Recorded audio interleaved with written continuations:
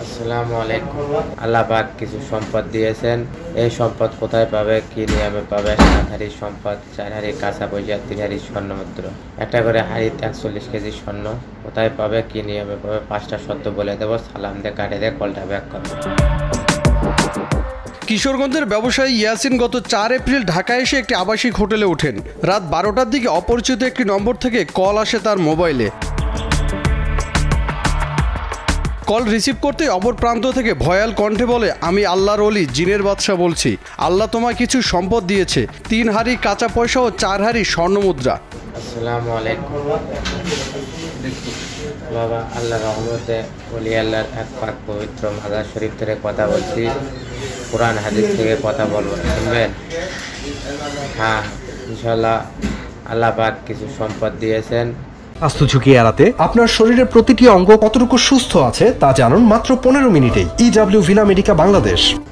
এই সম্পদ কোথায় পাবে কি নিয়মে পাবে? সাত হাড়ি সম্পদ চার হাড়ি কাঁচা পয়সা তিন হাড়ি স্বর্ণ মুদ্রা একটা করে হাড়িতে একচল্লিশ কেজি স্বর্ণ কোথায় পাবে কি নিয়মে পাবে? পাঁচটা শব্দ বলে দেবো সালাম দিয়ে কাটে দিয়ে কলটা ব্যাক করব জিনের বাদশা পরিচয় দানকারী সেই ব্যক্তি ফোনে জানায় এই গোপন সম্পদের কথা কাউকে বলা যাবে না। আর পাঁচটি শর্ত পূরণ করতে পারলেই সব সম্পদ হয়ে যাবে তোমার। এমন কথা শুনে লোভে পড়ে যায় ইয়াসিন। সবগুলো শর্ত স্বাভাবিক মনে হলেও পাঁচ নম্বর শর্তে চাওয়া হয় মাজারের নামে টাকা। আর শর্ত পূরণ করতে গিয়েই তেরো লাখ টাকা খুঁয়েছেন ইয়াসিন। আমি আজ থেকে দেড় বছর আগে এই কাজ শুরু করি। আমার প্রথম একদিন রাত্রে ওজার মধ্যে এক নম্বরে ফোন দিয়ে তার সঙ্গে কথা বলি, কোরআন হাদিস থেকে কথা বলি, মাজার শরীফ থেকে কথা বলি। বলে তার থেকে আমি জায়নামাজের টাকা নিই। সর্বমোট তেরো লাখ বিশ হাজার টাকা নিয়েছি ঘটনার পরের দিন ছয় এপ্রিল একই নম্বর থেকে আবারও কল আসে ইয়াসিনের নম্বরে। শর্ত অনুযায়ী মাজারে জায়নামাজের জন্য সাতচল্লিশ হাজার টাকা বিকাশ করে পাঠান তিনি। এরপর ইফতারের কথা বলে এক লাখ পঁয়ষট্টি হাজার, স্বর্ণের পুতুলের কথা বলে টাঙ্গাইল এলেঙ্গা ব্রিজের নিচে পাঁচ লাখ টাকা রেখে আসতে বলে তাকে। ইয়াসিন কথা মতো সেই টাকাও রেখে আসেন। কিন্তু এত টাকা পাওয়ার পরও নতুন ফোন দিয়ে আটেন প্রতারক জিনের বাদশা স্বর্ণের তিনটি হাড়ি ভেঙে গেছে, তাই সাপকে দুধ খাওয়ানোর জন্য এক লাখ তেপ্পান্ন হাজার টাকা, হাড়ির ভেতর স্বর্ণ জমাট বেঁধে গেছে বলে দুই লাখ চল্লিশ হাজার টাকা দেন ব্যবসায়ী ইয়াসিন। এপ্রিল ও মে মাস জুড়ে এভাবেই মোট তেরো লাখ বিশ হাজার টাকা দেন ব্যবসায়ী ইয়াসিন। রমজান মাসের সাত তারিখে এই জিনের বাদশাহ প্রতারক চক্রে আমাকে ফোন দেয়। ফোন দেওয়ার পরে প্রথম যায় নামাজের টাকা চাই তারপর ইফতারের জন্য টাকা নেই।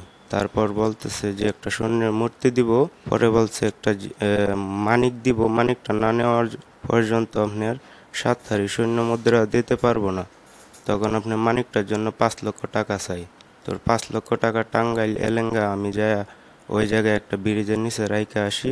সর্বশেষ এক লাখ টাকা দেওয়ার পর ইয়াসিন বুঝতে পারেন তিনি প্রতারণার শিকার হয়েছেন। প্রতারণার বিষয়টি বোঝার পর গত আট জুন রাজধানীর রমনা থানায় একটি প্রতারণার মামলা করেন তিনি। তিনটা হাড়ি ভাঙার জন্য টাকা নেই এক লক্ষ তিপ্পান্ন হাজার। তারপরে আপনার স্বর্ণর কথা বলিয়ে টাকা নেই দুই লক্ষ চল্লিশ হাজার। তারপরে আপনার তিন লক্ষ ছয় হাজার টাকা নিয়ে আপনার এই তিনটা সাপের মারার জন্য দুধ খাওয়ানোর জন্য তারপর স্যার, এই এক লক্ষ পঞ্চাশ হাজার টাকা চাই।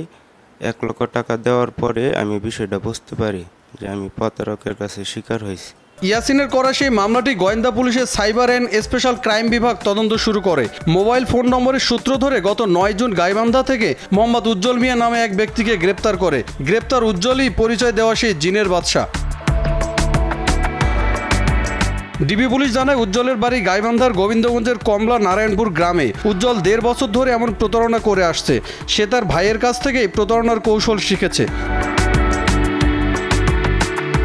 গ্রেপ্তার উজ্জ্বল মধ্যরাতে বিভিন্ন নম্বরে কল দিয়ে নিজেকে জিনের বাদশা পরিচয় দেয়। এরপর দেখায় নানা রকমের লোভ।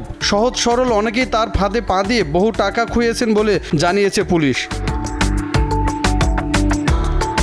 জনি রায়হান, কালবেলা।